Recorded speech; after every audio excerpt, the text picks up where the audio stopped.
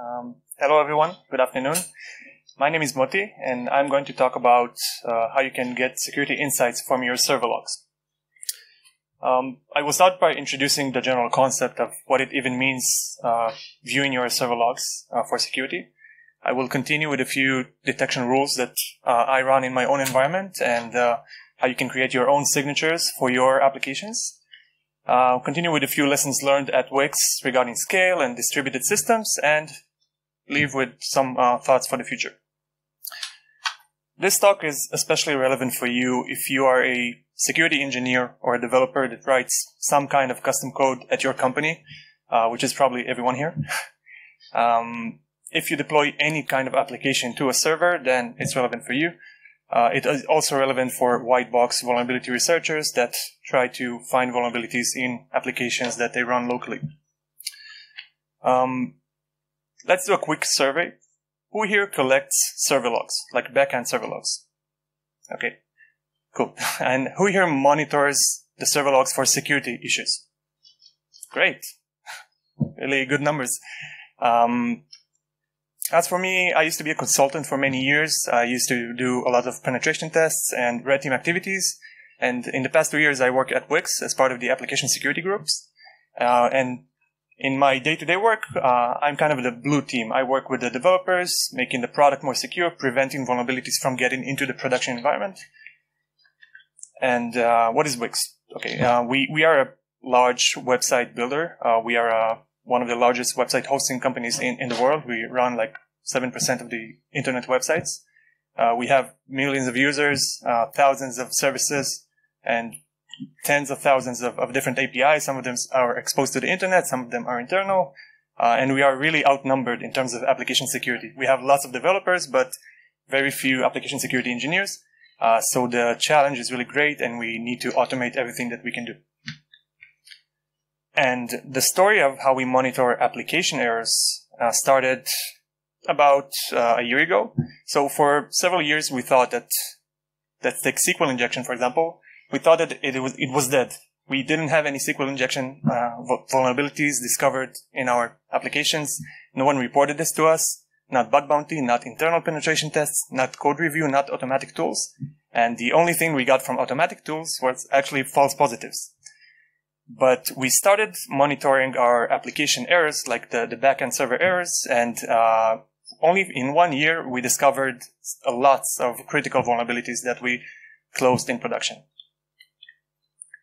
Now, going back to my penetration testing days, uh, whenever I saw this type of error, I was very happy because it already it, it, meant for me SQL injection, right? It was so obvious, and I really like SQL injection and attacks of this sort because they don't rely on the context of what the application can do or the data that is stored inside it. You can skip into the operating system and then go into the organization deeper.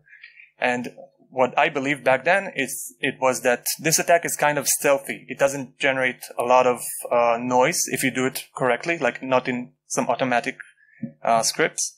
If you do a clean SQL injection attack using your custom payload, then probably no one will discover you uh, until the point that you reach the operating system.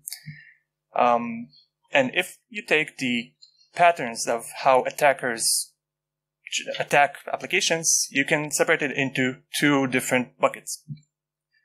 So one pattern is attacks that are against the application logic, things that are mostly product related. Uh, if you do a brute force against the application, uh, you do password spraying, authorization issues, you get to the admin pages, etc.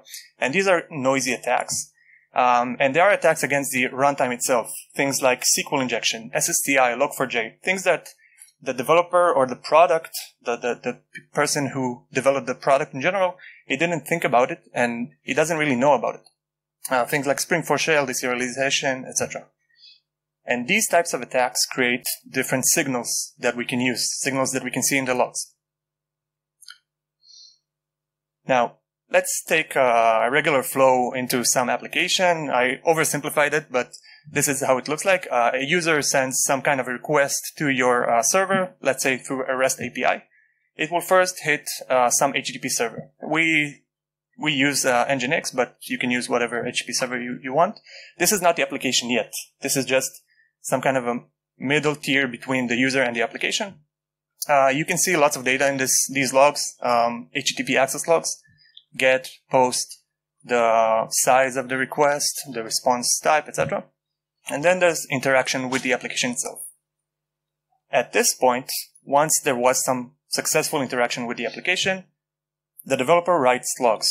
Um, you can separate it again into two different types of logs. There are the things that tell the story of what happened technically in the system the de- developer wrote, um, and he wants the, the the logs are should be read by the developer by the developer's team and not by some product or some uh, someone who understands the the flow of the product.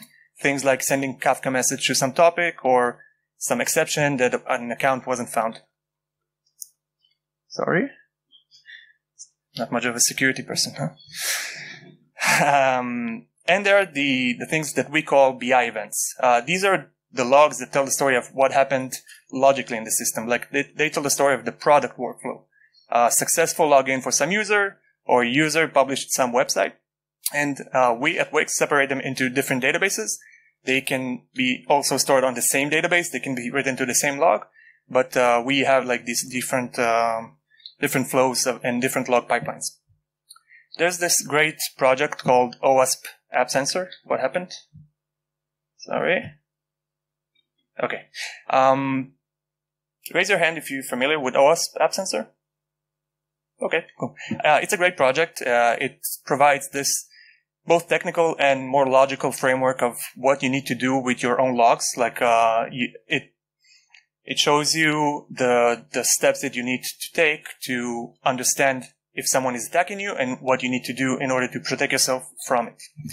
Uh, and it talks about all of the types of the logs, including access logs, BI, and developer logs. But I'm going to focus specifically about the developer logs and specifically inside them about the errors. This is the 1% that interests me. Now let's take an attack floor, for example. Uh, we have some attacker running some script, SQL map. Again, it will hit the Nginx server. It will write lots of logs into the access log. But does that mean that this attack was successful? Or it just means that someone is attacking me? Well, someone is attacking us, uh, Wix, all the time. We get flooded with attacks, and it's really, really hard to separate the noise from the successful or the interesting attacks. And 99% of the data that is in the access logs is irrelevant for security insights. You just know that you're being attacked. Okay. Um, but that 1% of the interaction with the application itself. Let's say the SQL map found uh, an API that is sensitive to SQL injection. No one found it. It reached the production environment. Bummer. Um, now the application um, created this vulnerable query, communicated with the SQL database, and the database returned a SQL um, SQL syntax error. It will be reflected in the logs. And this 1% is the percent that we're looking for, and it tells us as security engineers that there is a problem. Even if it's not an attack, there is probably a problem because it came from user input. And if you see these types of uh, exceptions in your production environment, it, it's not good. Now, this is just one example, but you can also look for other signals and other signatures of these errors in your logs. Let's have a look how it looks like. So again, SQL injection, you will see, can you see this? Is it too small? Um, you will see this in the access logs. It doesn't mean that the attack was successful. But again, if you see something in the application error log, something like this, then it's probably a vulnerability SQL injection. And once you get the alert from this uh, suspected SQL injection, what should you do? You get like alert with a stack trace that said you have a potential vulnerability here. How should you analyze it? So this is a stack trace. It consists of, uh, of the class that generated it and a message marked in blue. And then uh, a sequence of the classes and methods that calls this, uh, that created this exception. Now, we are not really interested in the, in the classes that are generic, the things that we don't control, the code that we did, did not introduce the vulnerability. Um, so this is kind of the, we need to skip these um, these classes, and then we need to analyze specifically the class that is part of the package that we wrote, the code that we have control over. And this, for example, it is com with something. We can see the class, and in red we can also see the, the function that created this exception. And this function is probably sus- suspectable to SQL injection.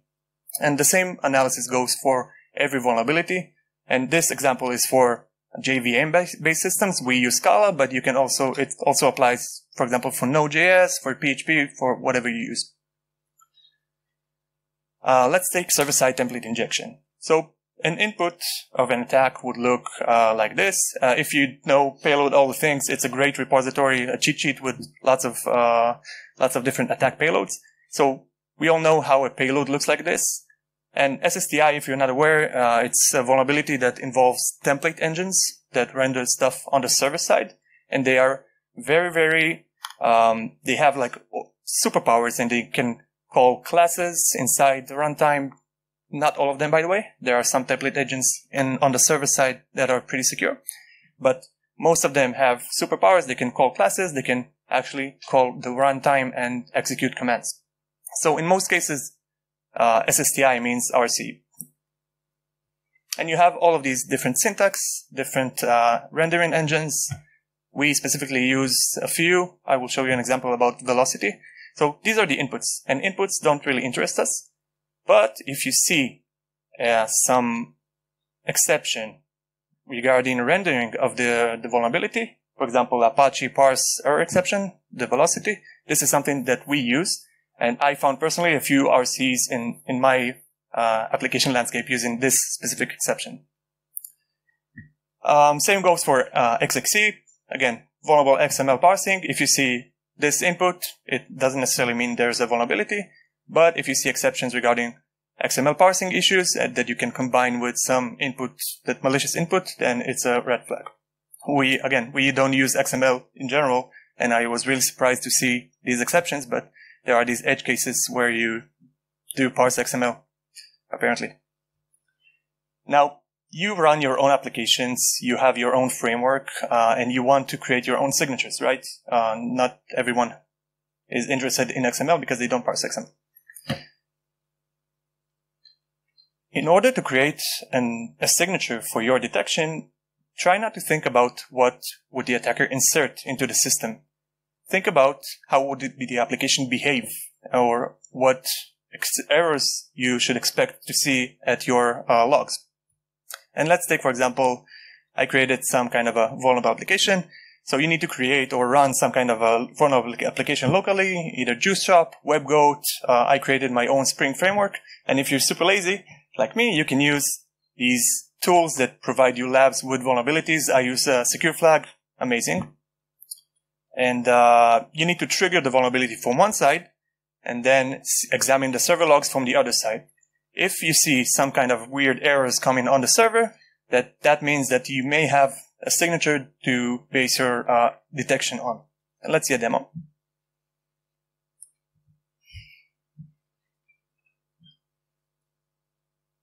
Can everyone see?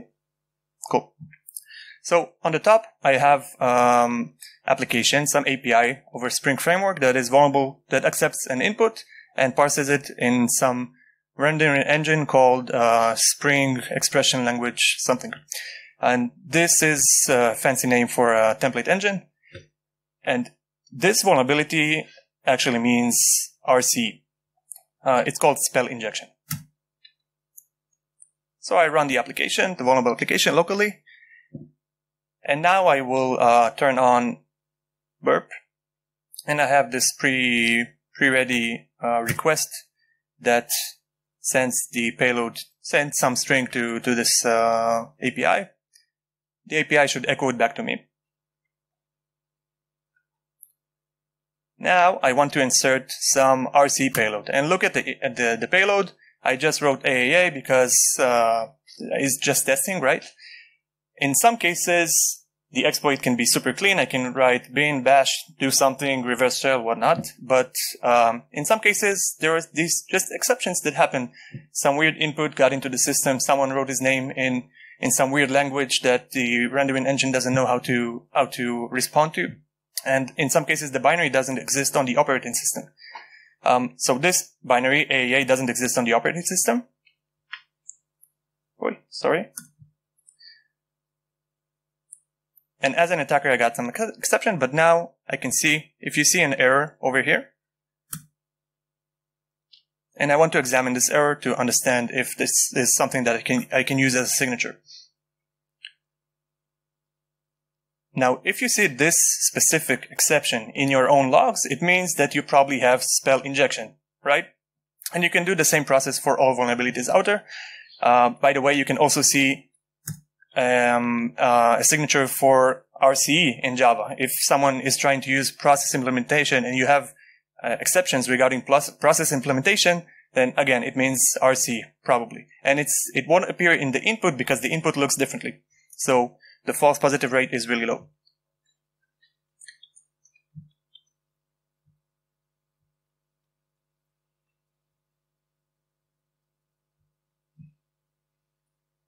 Okay. So once you get the point of, of how you run signatures, create signatures, and look at these logs, there are cons for this kind of monitoring.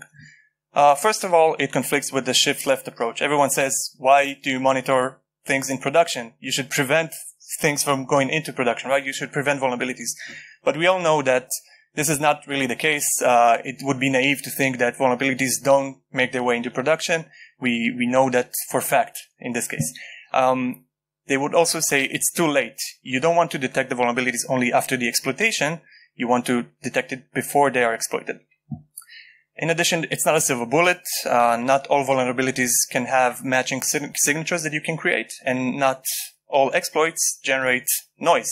Uh, some exploits are, are, really, really clean. They don't, don't, generate any exceptions, like a single request exploit that pops in reverse shell, and you wouldn't see it in some error. Uh, and one pain that we have is that developers can swallow logs. They, they can hide logs and not write them into the log or replace them with some other exception. Um, so it's not a silver bullet, but it's really easy. First, you find vulnerabilities and not just ex- exploits. Uh, we found most of, of the numbers that we found were vulnerabilities and not uh, exploitation attempts. In addition, you can monitor all your running code, everything that is in, in the runtime, including code that you don't control. For example, SDKs, jars, some kind of uh, external import, something that you don't have uh, the, the other tools to, to work with, like static code analysis. Uh, you can also have visibility for entire on-premise solutions like Jira if you run it locally, or some black box that you put on a server. You can monitor its logs.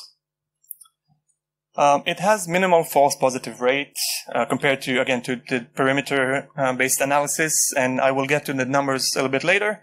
But it does have some false positive rate. It is continuous. Uh, you can catch things that were introduced a uh, day ago by some developer that didn't want to uh, tell you about some new API that he wrote.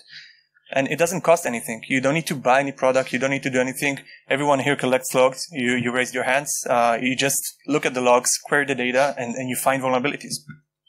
And it acts as kind of a safety net from the right. Everyone says shift left, but I also say uh, protect from the right. Now, at Wix, we ran this kind of uh, program. We understood its value. And uh, after one year, we have these lessons that we want to share with you. So first of all, we started off as why not just use some existing tool or product that does this for you? Um, we examined a few Rasp solution and there was a great talk about Rasp uh, here uh, yesterday. Uh, for those of you who are not aware, it's called, it's a category of products called runtime application self-protection, which is the best name ever. Uh, but uh, it, it is a category of solutions, security solutions that attach themselves to your application as uh, either instrumentation or some even eBPF and some other technologies, and they protect your application from inside. Um, the problem with that is some of them make impact on production. At least the things that we tested, well, they have all of them have some impact, but maybe it's minimal. It does consume CPU, it does consume memory because it's an, another application that runs on top of your application. It's some other logic.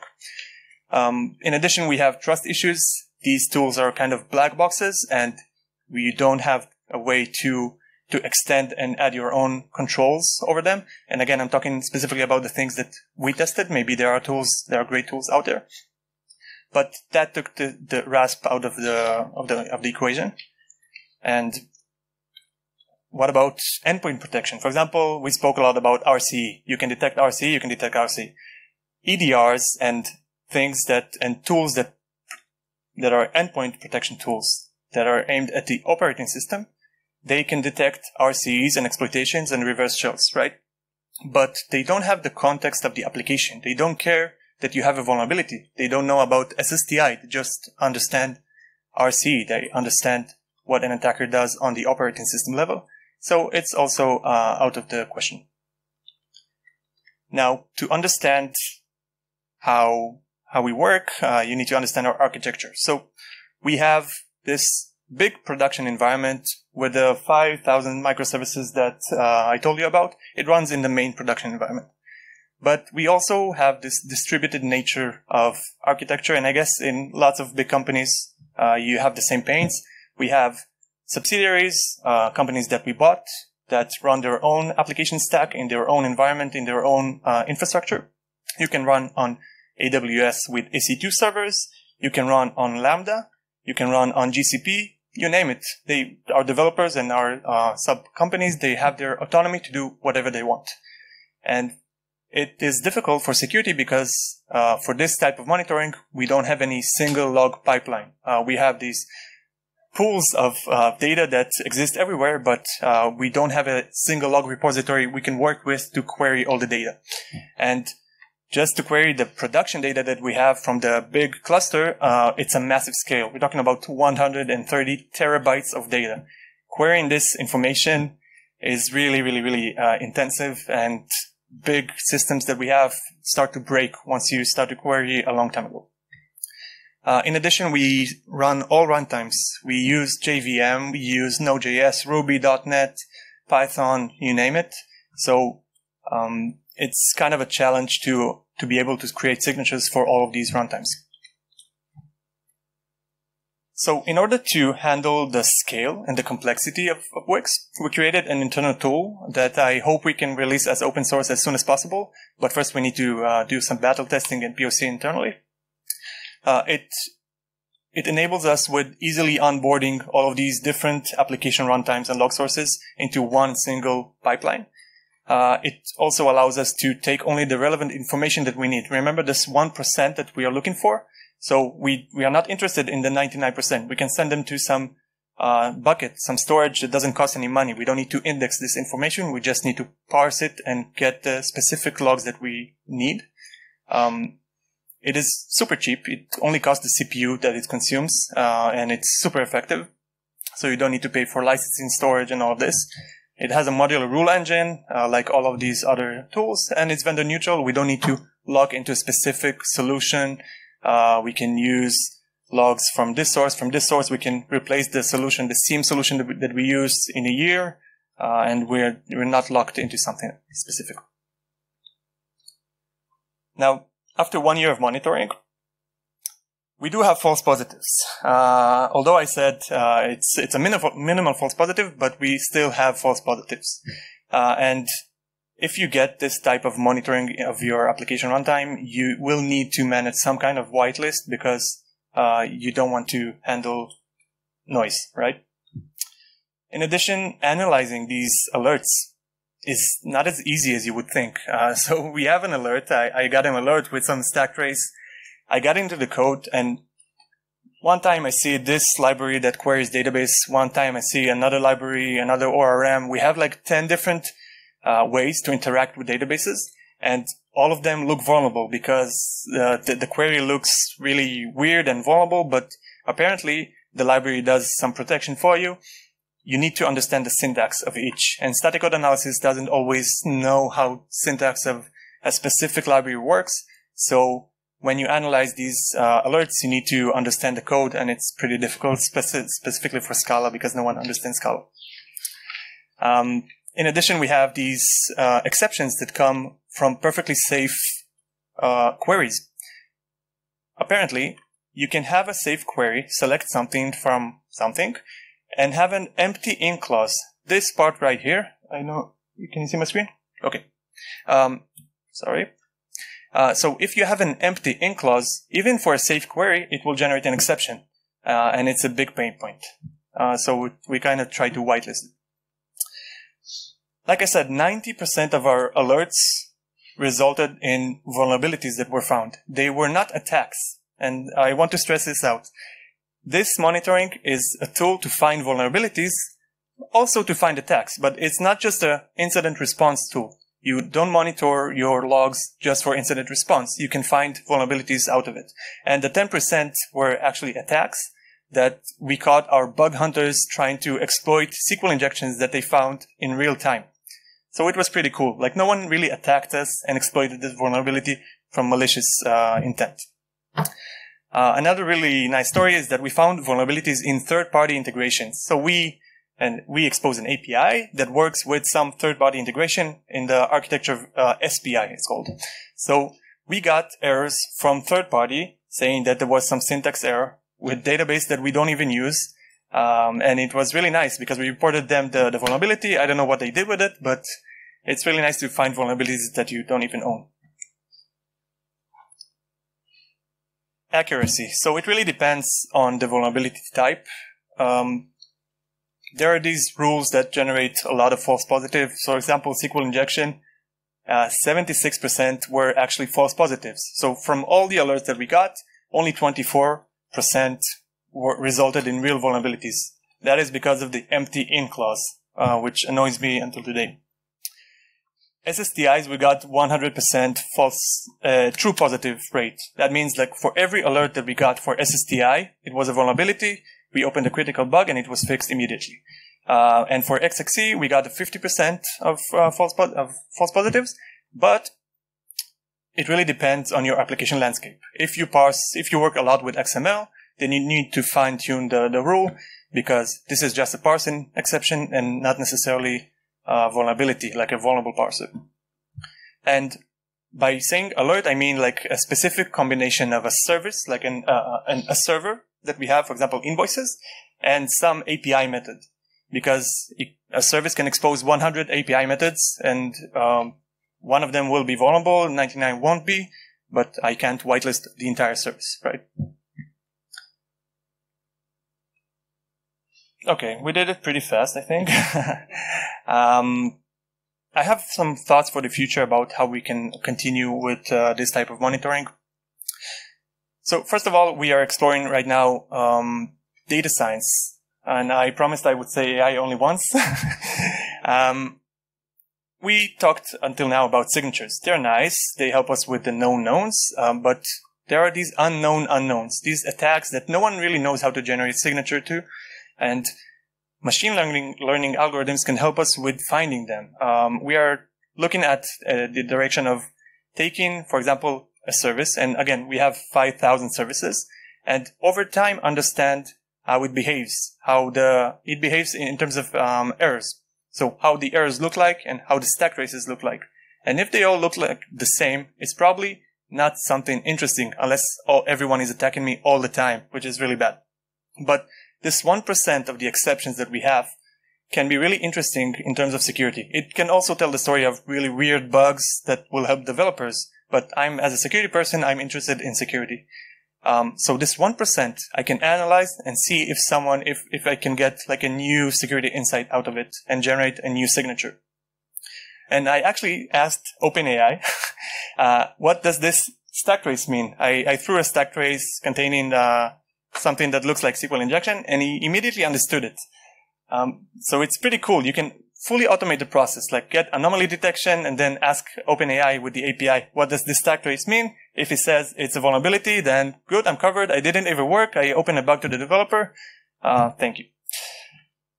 Collaboration. So, like you, like you see, there's a lot of common ground between all developers. It doesn't matter if you work at Wix, at Google, at Uber, Facebook, whatnot.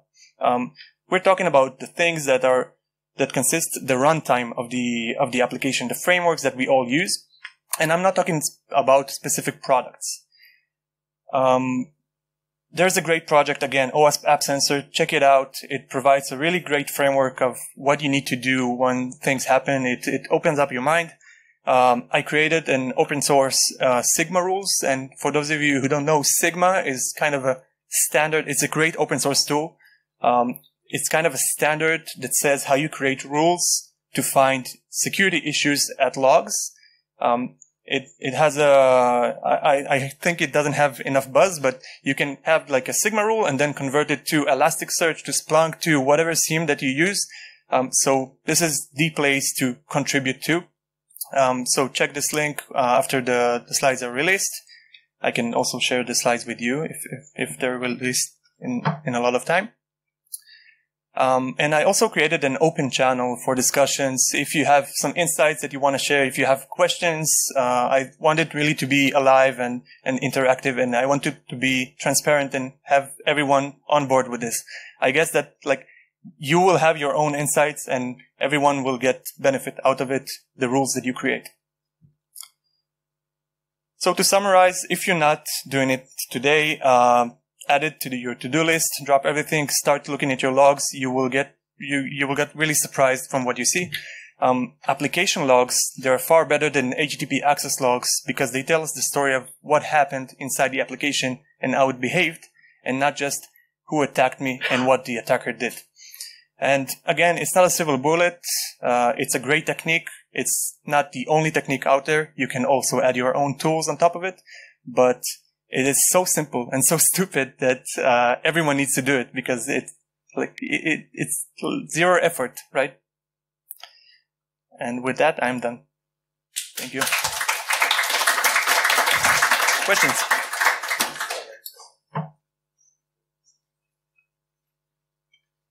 Anyone? Yep.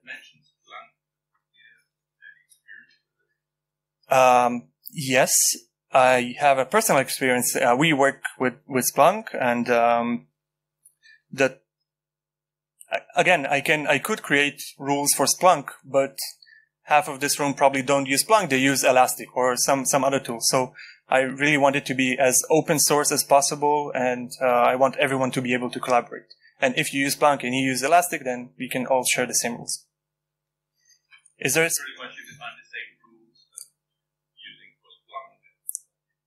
Yeah, uh, the, the, the Sigma, I check it out. It's a great project, really. Uh, Sigma is this tool that runs YAML uh, files. You can convert it from one language to another, like from Sigma rule to Splunk alert or to Elastic or to whatever technology you use. It's a great, great project. You have to check it out.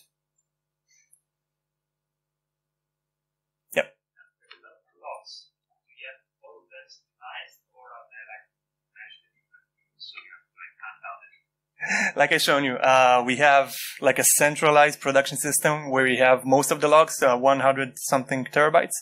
Uh, but again, we have these islands of different uh, products and different sub companies that we have that they use their own infrastructure. So it's kind of, we, we don't have access to these logs and it's really hard to onboard them back into our central place. This is why we created the tool.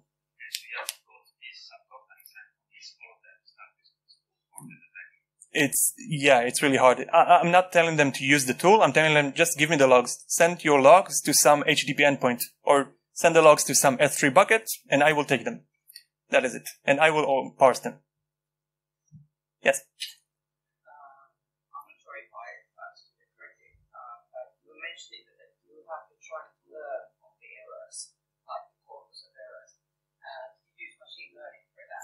Um, we are testing it. The, the, most of the slides did not mention machine machine learning. This is just, just regular signature based detection. But we are exploring the machine learning part uh, to learn how an application behaves over time. Yes. Okay. Related to that, your opinion, what seems to be the best candidate for, for algorithm for learning behavior? I honestly can't say. Uh, we have data scientists uh, which is not me. I'm, I'm not a smart person. uh, we have data scientist in, in the security group uh, that handles this, but he uses like it's not really machine learning. You just honestly you take the stack trace, you break it down into different nodes, and then you collect the the anomaly rate, and then you convert it back again to to the stack trace to understand what appears a lot and what doesn't appear a lot. It's not like super scientific machine learning algorithm like shiny thing once we have maybe a model that we can release, I, I, I hope we, we will we can share it with the world. Yeah, but we are just testing it right now. It's just a POC phase. Yes.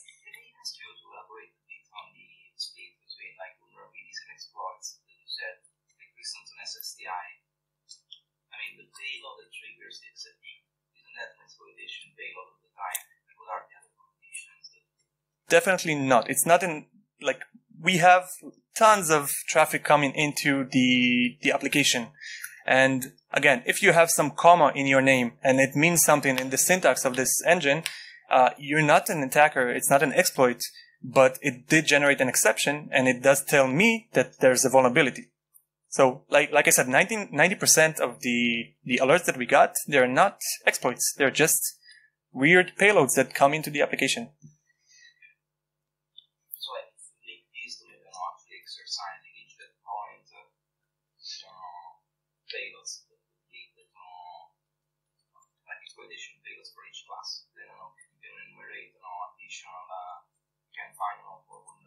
instead of just listening for traffic, uh, like regular traffic that you get from the users. Exactly. Uh, we connected this type of monitoring with uh, from the other side with fuzzers. So we have uh, this uh, dynamic uh, analysis tool DAST that attacks our application from one side, and then we look how it behaves from the other side. If we see like high error rate and the specific errors that we interest that interest us, then this means that there's a vulnerability. We still haven't connected the dots to have like a full cycle back to, to the DAST to understand that the, the vulnerability occurred, but we have the human connection. Uh, we know that there's DAST scanning on one side and then we monitor with our eyes on the other side.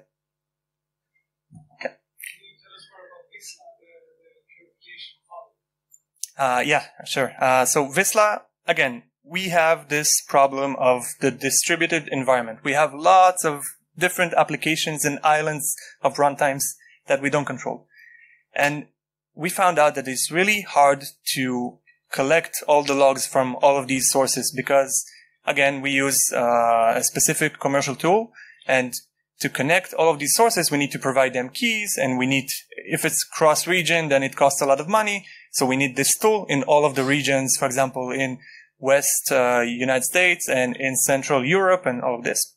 So the tool is actually a pre-processing layer before our SIEM, and it only needs to be able to uh, to get more more log sources into the system to to onboard them. I mean, uh, and it is really this is the the main part to onboard different log sources and to sift only the relevant data that we need. We don't need to index all of this data. We just, I just need to find the specific strings or the matching of, of the, of the logs that I need.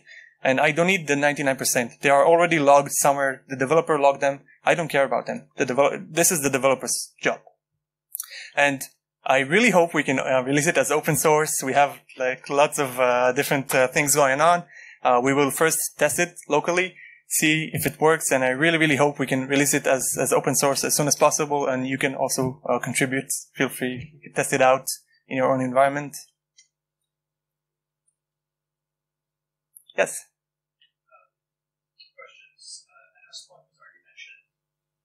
Yeah.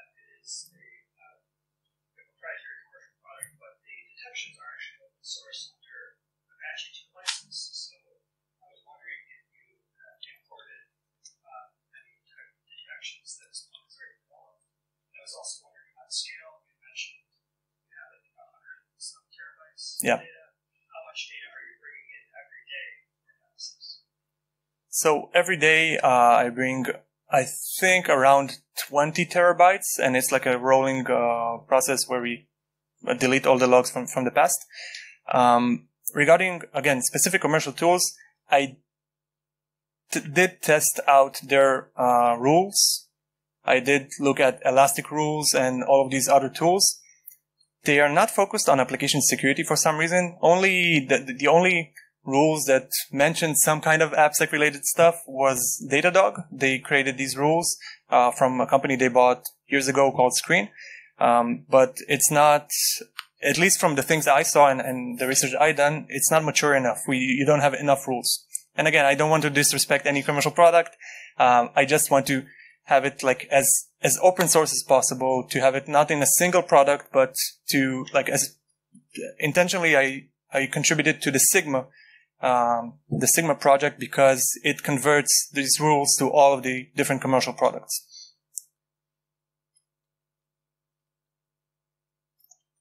Cool. Uh, if you have any more questions, feel free to reach out to me directly and uh, join the, the Discord channel. Ah, you have more questions? Okay.